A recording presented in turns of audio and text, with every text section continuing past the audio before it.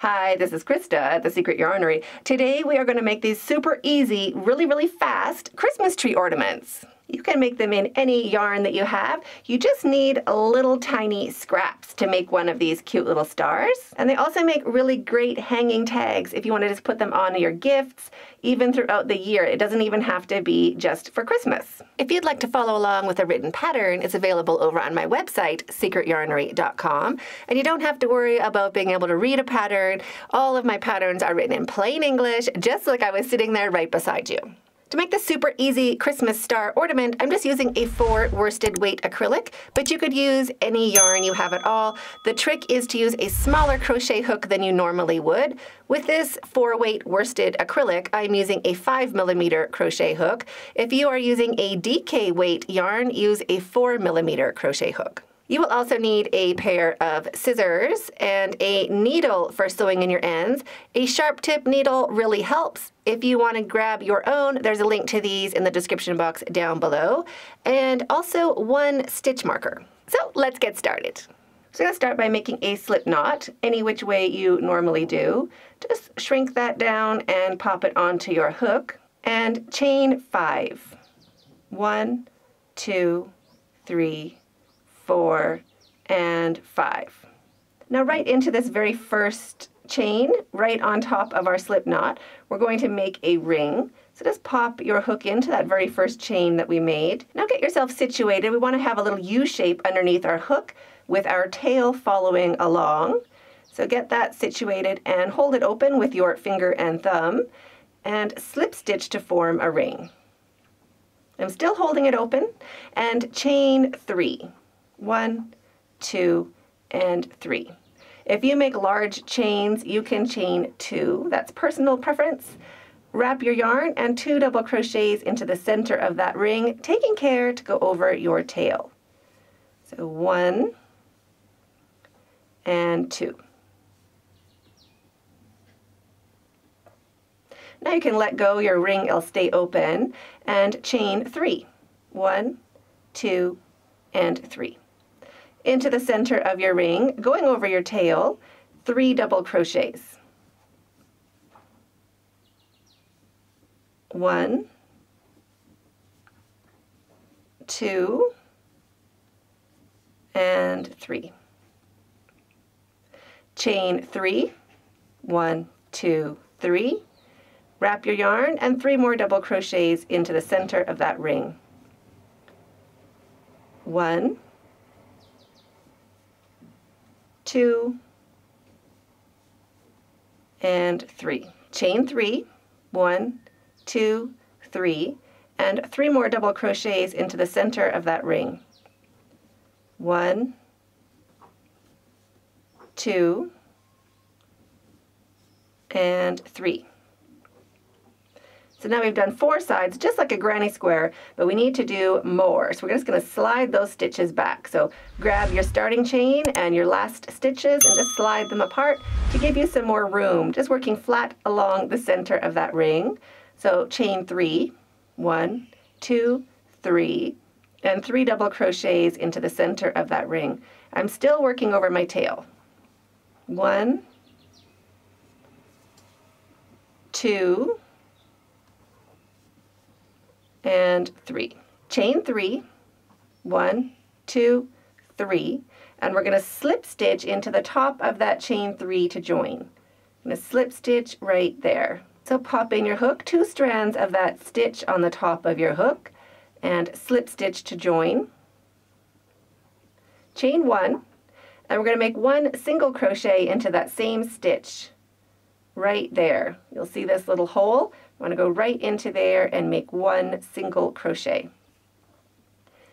So pop your hook in and one single crochet. If you are new to crochet, you can pop a stitch marker into that stitch we just made, just so we know that that is our first single crochet. Now we're going to make one single crochet into each of the next two stitches. So the next stitch starts right here, that loop at, at the front, and we also have to grab the loop at the back.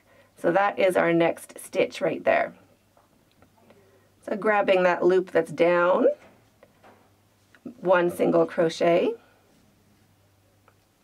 and one single crochet into the next stitch right there. Now into the space, three single crochets, one, two, and three, chain three, one, two, three. You can slide those stitches back a little bit if you need some more space, and three more single crochets into that same space. One, two, and three. Now into each of these three stitches, the first one is a little bit underneath our work. Our first stitch is right there. So one, two, and three, one single crochet into each. So starting with that very first stitch, one single crochet, and one single crochet into each of the next two stitches. Into our space, three single crochets, chain three, and three single crochets. So there's my three single crochets. Chain three, one, two, three. Slide those stitches back if you need some more room, and three more single crochets into that same space. One, two, and three. Now one single crochet into each stitch. Our first stitch is a little bit hiding, so make sure you find that very first stitch right underneath where we're working. So one, two, and three. One single crochet into each stitch. One, two, and three. Into our space, three single crochets, chain three, and three single crochets. So one, two, three single crochets, chain three, one, two, three, and three more single crochets into the same space. One, two, and three. Into each of the next three stitches, one single crochet into each. So starting with that very first stitch, a little bit underneath where we've been working, one, two, and three single crochets, one into each stitch. Now into our space, three single crochets, chain three, and three single crochets. So one, two, and three, chain three, one, two, three, and three more single crochets into that same corner space. One, two, and three. One single crochet into each of these stitches, starting with that very first one right by our work. Right there is our first stitch. So one single crochet into each of the next three stitches. One, two, and three. And now into the space, three single crochets, chain three, and three single crochets. So there's one, two, and three, chain three, one, two, and three, and three more single crochets into that same space. One, two, and three. Now we're back to where our stitch marker is. That just marks where we have finished going around our star. So now we can cut our yarn. We want to leave a long tail, about 12 inches or so, depending how long you want to make your hanging tag.